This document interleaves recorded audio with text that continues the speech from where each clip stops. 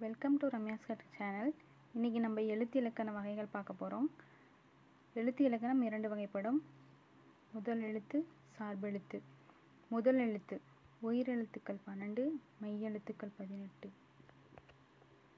சார்பெழுத்து உயிர்மை ஆயுதம் உயிரிழப்படை ஒற்றலப்படை குற்றியலுகரம் குற்றியலிகரம் ஐகார குறுக்கம் ஔகார குறுக்கம் மகர குறுக்கம் ஆயுத குறுக்கம் என பத்து வகை சார்பெழுத்து